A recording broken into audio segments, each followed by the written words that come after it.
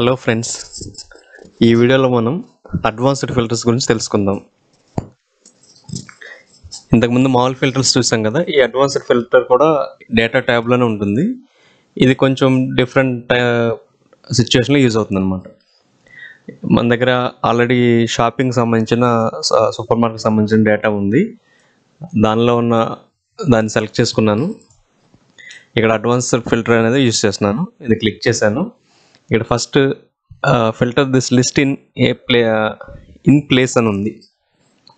అంటే నాకు కావాల్సిన ఏరియాని నేను ఇక్కడ సెలెక్ట్ చేసుకున్నాను ఫస్ట్ పారామీటర్ కింద. సెకండ్ క్రైటీరియా రేంజ్ అని ఉంది. ఇందులో నాకు కావాల్సిన దానిలో ఐటమ్స్ ఉంది నేను విడిగా నా దగ్గర లిస్ట్ ఉంది. ఇక్కడ నా దగ్గర నాలుగైదు ఉన్నాయి మీ దగ్గర వంద వెయ్యి అలా ఉండొచ్చు. అట్లాంటప్పుడు అవన్నిటికీ ఫిల్టర్ పెట్టాలంటే టైం వేస్ట్ కాబట్టి దీన్ని యూస్ చేసుకోవచ్చు అంటే మీ దగ్గర ఒక వంద రకాల ఆబ్జెక్ట్స్ ఉన్నాయి. వాటిలన్నింటినీ మీ దగ్గర ఉన్న డేటాలో ఫిల్టర్ చేసి చూడాలనుకుంటున్నారు. దానికోసం ఇది పనిచేస్తుంది. ఇది క్లిక్ చేసి ఆ రేంజ్ ఇవ్వాలి. ఆ రేంజ్ నేను ఇక్కడే పెట్టుకున్నాను. మీరు సైడ్ ఎక్కడైనా కూడా పెట్టుకోవచ్చు. నెక్స్ట్ ఇక్కడ ఇంకో ఆప్షన్ ఉంది. కాపీ టు అనదర్ లొకేషన్ ఉంది.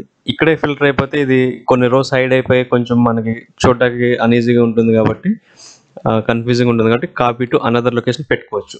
టిక్ చేశాను ఇప్పుడు ఇది హైలైట్ అయింది. కాపీ టు ఎక్కడ కాపీ చేయమంటారు ఇది హైలైట్ అయింది అనమాట దీన్ని క్లిక్ చేసి నేను కొంచెం ఫ్రీగా ఉన్న అంటే లాస్ట్లో ఉన్న స్పేస్లో నేను సెలెక్ట్ చేసుకున్నాను. ఇక్కడ ఓకే నొక్కాను. యూనిక్ రికార్డ్స్ అంటే ఏమవుతుందంటే చూపిస్తాను అది కూడా.